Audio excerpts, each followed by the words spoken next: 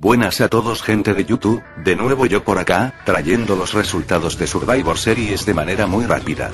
Desafortunadamente no pude sacar highlights como era mi objetivo, así que me animé a pedir el match card del evento a mi amigo Malas Noticias Loquenderas, lo edité un poco para que me funcionara en Paint, y finalmente hice las cards del evento. Esta clase de vídeos es la más criticada de mi canal, pero ¿qué se le va a hacer, si de todos modos lo harán? Abrimos el evento con Justin Bieber enfrentando a Pasito Tuntun, es una de las luchas de apertura, mera exhibición, buena de hecho, solo promocional de relleno en lo que todo quedaba listo para la hora acordada y el inicio del evento, la verdad es buena lucha, gana el fanboy de John Travolta. Después tenemos malas noticias, Barrett aparece en su pedestal y empieza a dar sus malas noticias, habla de lo que será el evento central, dice que serían malas noticias si la autoridad cae, porque entonces comenzaría la era de las malas nuevas. Luego de esto, Barrett aseguró estar listo para regresar a reclamar todo lo que es suyo, y se retiró, o sea que volveremos a ver a Malagüero Barrendero por acá muy pronto. Después tenemos otra lucha, primero entra el pelón a hablar en 8000 idiomas, y luego se le aparecen los hijos del tío Sam para justiciar a Mierdica. La lucha es simple, Cesaro sorprende un poco, nos hace disfrutar de un buen show de apertura junto al todo marihuano marihuano. Al final con la llave de torcer la patita gana su y acaba el pre-show. En el evento entra Mr. Madman y se hace fanfarrias, les habla a su hija y yerno, les dice que se tienen que sentir orgullosos de lo que han creado, y que sobre todo deben sentir el orgullo de ser unos Madman. Sina llega presentado por Vince, y se avientan las miradas del mal de ojo, se dicen sus verdades y luego se retiran. Los catorrazos los abre la orgía de parejas homosexuales, la verdad que el combinado de equipos fue bastante bueno, los matadores no se vieron tan jovers como de costumbre, y los más activos eran los dorados en aceite, en especial Cody, digo Stardust.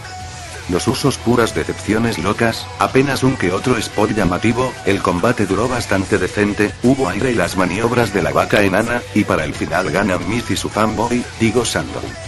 Es digno de mencionar que Miz carga ambos títulos, esto claro apunta a que la pareja se desintegre por lo que dije, Miz no trata a Sandow como su pareja sino como su ayudante.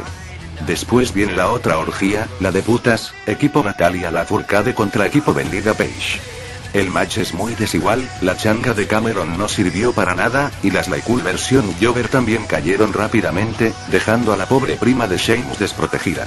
Cuando se quiso escapar de la lucha fue su fin, ya que la cleptómana de Emma la regresó de las greñas, y luego Naomi le dio su estate quieta, ganando las buenas sin sufrir eliminadas. Luego, el psicópata de Glyn hambreado enfrentó a la gorda subnormal Guaya, la lucha era bastante entretenida en ese feudo de los dos más locos y posesionados por el mal. Pero el match empieza a calentarse, parecía que disfrutaban hacerse daño, a lo mejor Glyn agarró a Guaya con su hermana, porque vaya perseguida y golpiza que le puso. Tras ponerse ilegal el loco de Ambrose fue descalificado, pero eso le valió para tres cacahuates, porque siguió tundiéndoselo.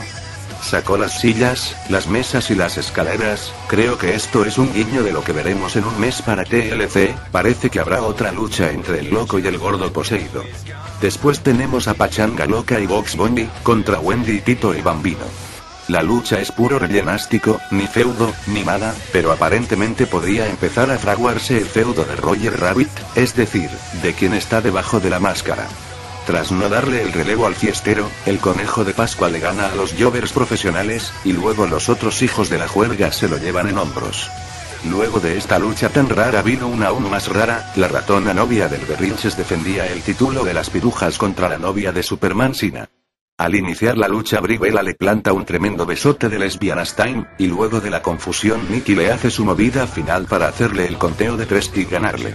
Recordemos que ese feudo de las lesbianas se ha suspendido muchas veces, primero ese era el personaje original que tendría Maris, luego, Paige y Jay tendrían ese feudo, y ahora Bri lo hace realidad, la última vez que vimos eso fue hace 8 años en WrestleMania 22, cuando Mickey James quería caldear con la Trish, volviéndose una loca fan psicópata.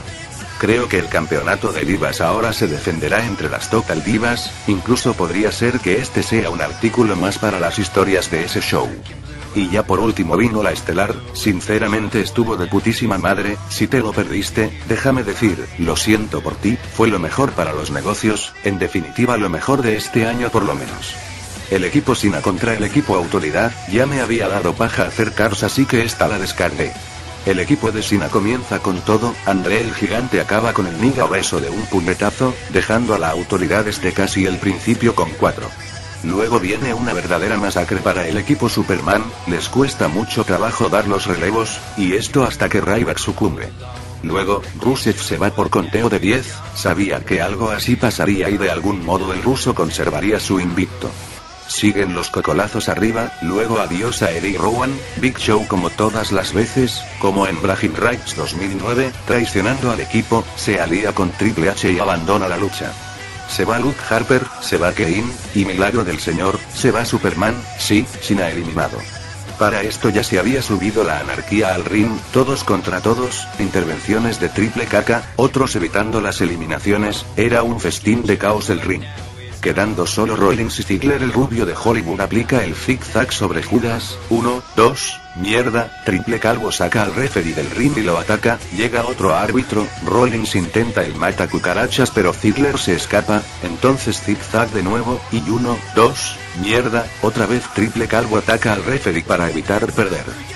Luego ataca a Ziggler con el pedigree, pone a Rollins encima y pide al árbitro la cuenta, pero algo pasa, se disminuyen las luces, un titantron nuevo y música nueva, Diosito Santo, es Sting. El icono ataca a Hunter, lo deja fuera de combate, pone a Ziggler encima de Judas y Ziggler Winslow, la autoridad se ha acabado, y milagrosamente no fue Superman el que lo ha vencido. Si te gustó oírlo, imagínate verlo sin saber que eso pasaría, si lo viste, sabes que fue un gran momento, fue un verdadero momento de oh my god, no las mierdas de siempre.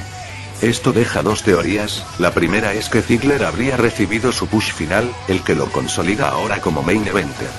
La segunda, es que Steve podría pelear contra Taker o Hunter en WrestleMania 31, no sé, pero ambos suenan bien. Por último, esto regresó a Survivor Series a la lista de los cuatro grandes eventos, ya que estaba difuminándose de fea manera desde hacía bastantes años. El evento me encantó, dos estrellas de un máximo de 5, digo, le pongo un 9.5, por la escenografía y el combate de relleno que nadie necesitaba, todo lo demás, de la putísima madre. Pícale me gusta si te ha agradado, comenta lo que quieras sobre el evento, suscríbete para más cosas de la WWE y otros temas variados, y pásate por el canal para checar el resto si no has visto los vídeos anteriores. Es todo, me despido, soy Austin Rivera, fue un genial evento.